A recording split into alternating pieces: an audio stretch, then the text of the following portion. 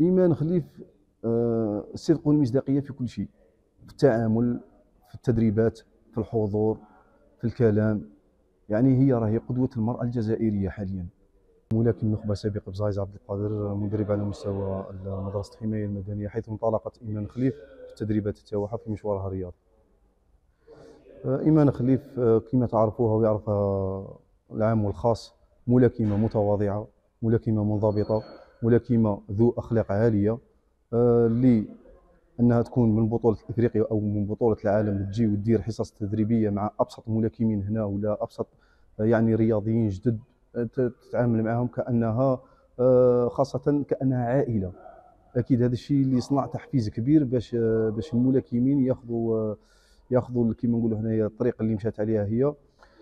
إيمان خليف كانت هي اللي تحضر ربما الأولى على مستوى القاعة أمام جميع الأصدقاء. كانت منضبطه لدرجة أنها جميع وقتها كان أكثر ولا جل الوقت تاعها اليومي كان يفوت في النادي. كانت هي من الأول الوصول للنادي. يعني تدرب مع جميع الفتيات تدرب مع جميع الأبناء لأنها كانت عندها شغف أنها تحب هذه الرياضة. ووصلت وين؟ الحمد لله حقق لها ربي الحلم تاعها اللي هو الميدالية الأولمبية. هي هي وين ما تجي تقول لك العمل العمل ثم العمل الخدمة. هي تعرف حاجة أنها تجي للخدمة والعمل ثم العمل والانضباط. والحمد لله رانا نمشي في المسار تاعها هذا اللي راه اللي راه تحفيز كبير للبنات ولا الأولاد الجيل الصاعد هذا. إيمان خليف آه، الصدق والمصداقيه في كل شيء. في التعامل في التدريبات في الحضور في الكلام. يعني هي راهي قدوة المرأة الجزائرية حاليا. ايمان خليف تحدات الصعاب قبل ما تكون ملاكمة تحدات صعاب أخرى اللي هي الظروف المعيشية القاسية اللي كانت تمر عليها منها منها الفقر منها آه، قلة الشيء كما نقولوا هنا كانت عندها ما كانش عندهم مدخول تسكن في قرية نائية بعيدة 12 كيلومتر على تيارت باش تتنقل وتجي لهنايا يعني ما عندهاش ترونسبور باش تجي. الحمد لله أنها تجاوزت هذه الأمور. والآن راهي تتجاوز في أمور أكبر من ذاك الشيء اللي هو ربما كما راكم عرفتوا الاتحاد الدولي الظالم اللي راه كما نقولوا هنا ضد الملاكمة إيمان أنها تكون بطلة أولمبية.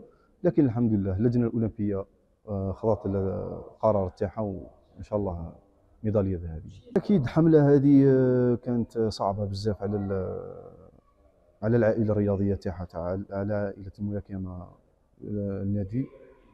لكن الحمد لله إيمان خليف قوية في هذا الجانب هذا وهذا ما يحفزها إلا قوة وصرامة وعزيمة باش إن شاء الله تكون الهضرة في ال ring كما قالتها هي الهضرة في ال ring آه، لأن ما كاش بطل وصل بلا انتقادات ولا وصل بلا جدال مدرب بن سعد مصطفى مدرب على مستوى النادي الرياضي الحماية المدنية تيارت كيف عندها في الجانب الشخصي تاعها عندها يعني نقدر نقسمهم إلى قسمين امام الاخت الحنون الاخت اللي متواضعة مع جميع الناس وهذه اللي راهي كمعلومه عند العام والخاص.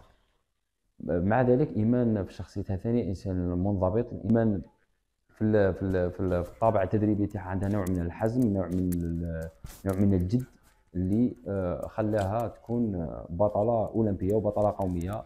وبطلة مش حتى في الوسط في الوسط العربي حتى بطلة في الوسط العالمي. الحملة اللي طالت إيمان خليف هي حملة ممنهجة وحملة ضد نجاح الرياضي الجزائري أو الرياضي التيرتي بشكل خاص.